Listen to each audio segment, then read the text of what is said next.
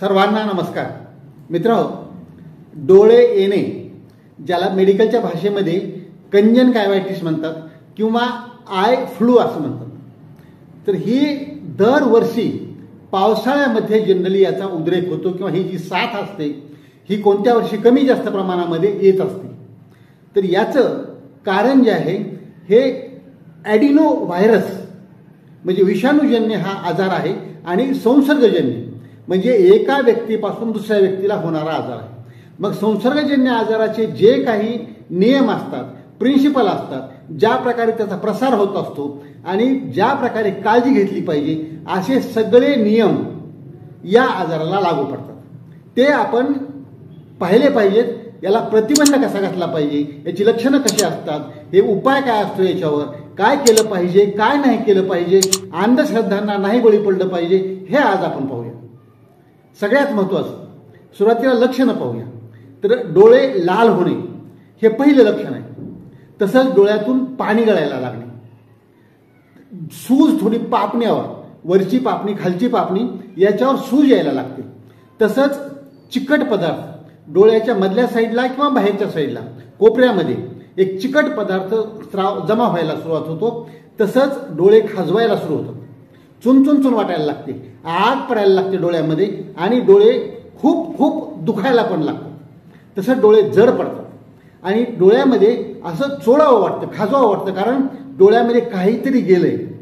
काहीतरी अडकलंय अशी एक फिलिंग येत राहते ज्याला आपण म्हणतो की फॉरेन बॉडी सेन्सेशन काहीतरी म्हणजे डोळ्यात गेले अशी एक फिलिंग यायला लागते आणि ती व्यक्ती सतत डोळे चोळत राहते.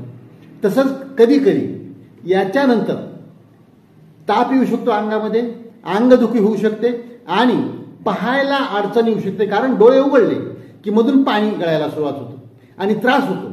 म्हणून पाहायला पण अडचण येऊ शकते. तर ही लक्षणं आपल्याला दिसली की लगेच ओळखलं पाहिजे की डोळे आलेले आहेत. एकंजन कायबिटिसचा आजार झालेला आहे. हा व्हायरसेसपासून आलेला आहे. आता याच्यामध्ये काय काळजी घेतली पाहिजे? सगळ्यात महत्वाचं आपल्या स्तरावर घरी आणि डॉक्टरकडे जाऊन. तर आपल्या स्तरावर काय केलं पाहिजे? स्वच्छ पाण्यानं डोळे वारंवार धुतले पाहिजे. आता हे सगळ्यात मोठा की पॉइंट आहे. सगळ्यात मोठं प्रिन्सिपल आहे. याला काय पाळलं पाहिजे? की स्वच्छ पाण्यानं म्हणजे कसल्या? जे आपण पाणी पितो त्या पाण्याने डोळे दिवसातून एक तीन तासाला चार तासाला तीन तासाला धुतले पाहिजेत. फक्त एक प्रिन्सिपल घेतलं पाहिजे की डोळे धुते वेळेस आपले हात जे आहेत हे अगोदर दोन वेळेला साबणानं स्वच्छ धुतलेले पाहिजे. तर तुम्ही डोळे धुवानंतर पाण्यानं. आणि डोळे धुतल्यानंतर प्रत्येक वेळेला जेव्हा आयड्रॉप टाकायचे आहेत अगोदर डोळे धुवून घ्यायचे ते कोरडे करायचे आणि त्यानंतर मग त्याच्यामध्ये आयड्रॉप टाका. डोळे न धुता आयड्रॉप टाकू नका. हात स्वच्छ असणं खूप म्हणजे हे संसर्गजन्य कुठल्याही आजाराचं हे प्रिन्सिपल असतं. आपण कोरोनाच्या काळात सुद्धा म्हणायचो पहा की हात स्वच्छ धुवा वारंवार. कारण हाताला जी घाण असते आणि त्या हातानं जर तुम्ही डोळे चोळले किंवा त्या हातानं जर चेहऱ्याला कुठं हात लावत गेलात तर काय होतं ते जंतू जे हाताला आलेले असतात ते चेहऱ्याला किंवा श्वासामधून जातील जसं कोरोनामध्ये जात होते किंवा आता काय होईल डायरेक्ट डोळ्यामध्ये प्रवेश करतील. किंवा हात न धुता जर तुम्ही ते तोंडामध्ये घातले जेवताना वगैरे जसे जातात तसे तर ते पोटाचे आजार करतील. म्हणजे हे संसर्गजन्य आजार कसे आहेत एकापासून दुसऱ्याला होणारे त्याचे प्रिन्सिपल जे आहेत ते आपण पाळले पाहिजे तसंच दुसरी एक काही जणांना सोय असते. सतत.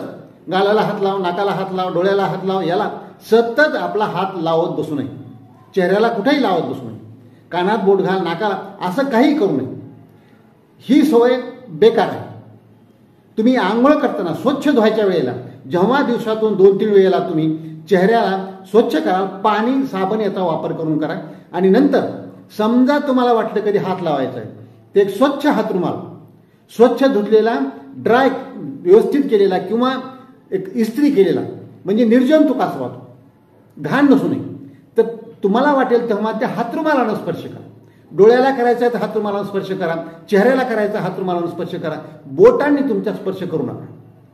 तसंच आता ह्या डोळ्याच्या साथीमध्ये डोळ्यांना गॉगल वापरणं हे कसं आहे की प्रखर प्रकाशाचा त्याला त्रास होतो डोळ्याला. या वेळेला. म्हणून गॉगल वापरला आणि दुसरं एका मेकॅनिकल प्रोटेक्शन पण होतं की थोडे जंतू यायला पण तिथं अडतील त्या गॉगलवर. म्हणजे दोन्हीचा फायदा होतो म्हणून गॉगल वापरला तर तो फायद्याचाच आहे. तसंच जेव्हा तुम्हाला वाटतं की त्रास जास्त होतोय तर डोळ्याच्या डॉक्टरांना जाऊन दाखवलं पाहिजे. त्यांचा सल्ला नेत्रतज्ञ डॉक्टर ऑप्थॉमॉलॉजी जे असतात त्यांचा सल्ला घेतला पाहिजे आणि त्यांनी जी औषधं देतील तीच औषधं वापरा. काही गोळ्या दिल्या काही ड्रॉप दिले डोळ्यात टाकायचे तीच औषधं वापरा. तुमच्या मनाने कसलीही औषधं वापरू नका कुणाचं ऐकून काहीही करू नका. आता त्या स्टेरॉइडच्या ड्रॉपचं एक फॅड असतं. किंवा लवकर कमी होतं म्हणून बरेच जण म्हणतात सूज कमी होते आग कमी होते. पण स्टेरॉइडच्या ड्रॉपचा साईड इफेक्ट इतका बेकार असतो की त्या डोळ्यावर तिथं आल्सर होऊ शकतो टिक पडू शकते अंधत्व कायमचं येऊ शकते. म्हणून स्टेरॉइडचे ड्रॉप नाही वापरले पाहिजे. तसंच तुमच्या घरामध्ये किंवा तुमच्या पद्धतीतल्या जे काही इतर व्यक्ती असतील त्यांनी वापरलेला टॉवेल त्यांचा हातरुमाल त्यांचे कपडे हे तुम्ही वापरू नका. म्हणजे कसं त्यानेच त्याने त्यांचा चेहरा पुसलेला. ते व्हायरस त्याच्यामध्ये आलेले आहे त्यांना जर डोळे आलेले असतील तर. आणि तोच जर तुम्ही वापरला तर ते तुम्हाला लगेचच होऊ शकतं. म्हणून हे कपडे वगैरे जे आहेत किंवा डोळे पुसायचं जे आहे हे स्वतंत्र वापरा वेगळं वापरा. तसंच तुमचं परिसर किंवा स्वतःच्या घरापासून सुरुवात करा. आधी घरामध्ये सगळी स्वच्छता ठेवा. स्वच्छता ठेवल्यानंतर जंतूंची वाढ जास्त होत नसते. तसंच जसं कोरोनामध्ये आपण म्हणायचो की सोशियल डिस्टन्सिंग म्हणजे सुरक्षित अंतर ठेवा. गर्दीमध्ये खूप जाऊ नका. कारण त्या गर्दीमध्ये कोणाला जर डोळे आलेले असतील आणि ते तुम्हाला योग्य एका काही मिनिटामध्ये ते तुम्हाला म्हणजे ग्रासू शकतात किंवा तुम्हाला ते आजार होऊ शकतो. एवढे हे विषाणू विषाणू असतात. त्यामुळं गर्दीमध्ये जायचे टाळलं पाहिजे. नियमित हात धुवायची सवय ठेवलीच पाहिजे.